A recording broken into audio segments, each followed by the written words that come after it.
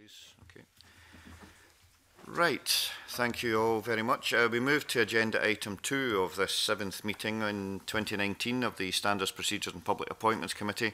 The committee has been considering a complaint about a member of the Scottish Parliament and I will now read out a statement that sets out the committee's findings. So On behalf of the committee, I would like to make the following statement in relation to a complaint against an MSP.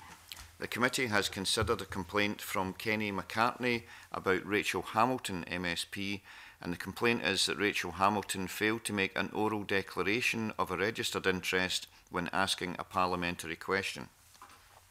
The committee is unanimous in the decision reached on the complaint.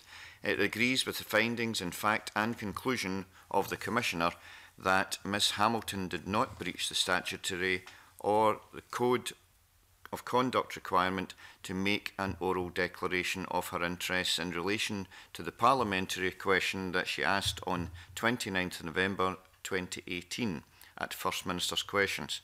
It is unsatisfactory that details about this complaint appeared in the media before the committee had received a copy of the Commissioner's report and undertaken its consideration. This is not the first time that this has happened.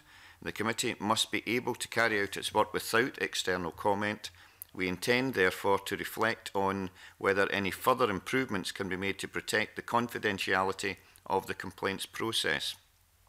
Full details of the complaint and the Commissioner's investigation of it will be included in the committee's report, which will be published later this afternoon. And uh, thank you for listening. Thank you. And that ends the public part of the meeting. Thank you.